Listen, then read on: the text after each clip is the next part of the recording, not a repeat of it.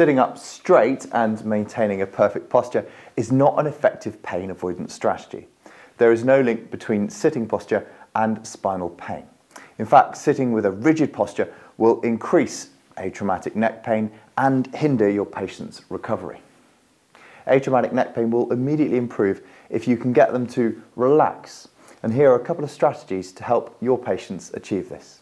Firstly, from a seated position, encourage your patients to relax the muscles around their neck and shoulders and to perhaps drop into a slightly more slumped position.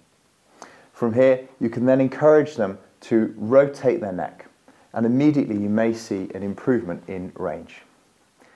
Then to focus more on relaxation, lie the patient into supine and begin to instruct them to relax using their out breath to bring about relaxation of the muscles around their face, around their neck, and around their shoulders, paying particular attention to relax the muscles around their jaw. Letting go of their head and letting it sink back into the cushion or the couch or your hands. And also the muscles around the shoulders should relax so they can drop their shoulders down.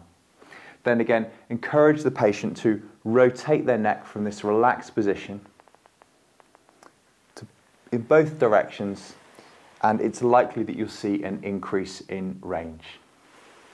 This is also a good starting position to begin some manual therapy as you've taken the time to relax the patient and from this starting point it's much more likely that manual therapy will be easier and more effective you can see some links on the screen here that will take you to some more manual therapy techniques or treatment videos for the neck.